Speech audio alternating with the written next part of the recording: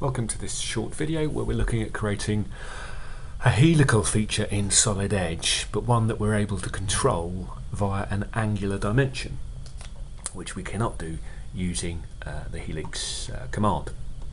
Here's an example. So how do we create this in Solid Edge? Let's go and create a new part file. Initially I will need a surface and it would also be useful to control this part or generate this part via ordered uh, modelling because I'd like to be able to perhaps change the angle at some later date which will help update the feature. So step one is to create an internal uh, cylindrical surface for this helix. So we'll set a diameter on the circle for our extruded surface and we'll bring it up by a couple of hundred mil as well. So that's step one. There's the inside of the feet, uh, inside of this model. Next thing to do is to create the path. In order to do that, we'll need a sketch. That sketch needs to be placed on a tangent plane that's on this surface. So we'll set a we'll set an angular value. And we want to be able to create this sketch line from the top of the model and along the x-axis. So we'll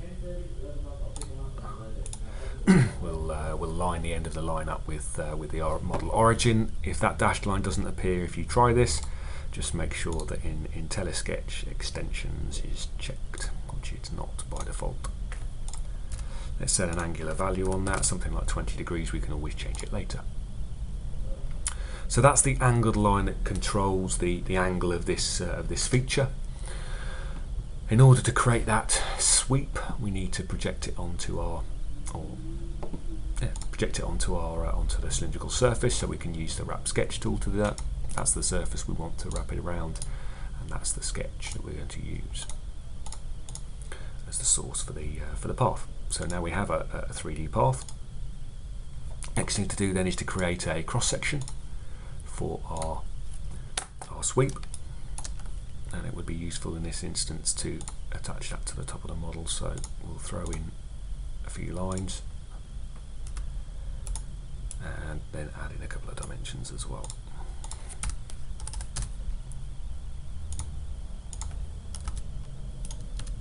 So that uh, our sketch now is, uh, is fully defined and we can go ahead turn off the surface, turn on the wrap sketch feature and use those two features that we can see now to create our sweep. So here's our path, here's our cross section there's the sweep, but clearly it's being, as the cross section runs round the path, it's angling over. That's not what we want. This is also a good uh, a good reason to start with that extrude one. If I didn't have that internal surface that I created in, step one, then uh, then I could have used or created a, uh, a sketch line that ran along the z-axis when I was drawing the cross section.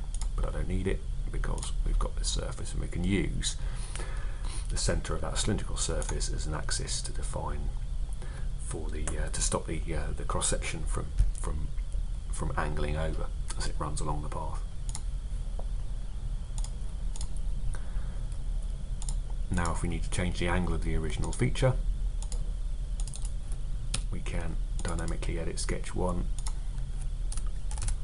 change some of the values as we do that you can see the sweep changes and that's how we can create a, uh, a helical feature that is controlled uh, via an angle in Solid Edge.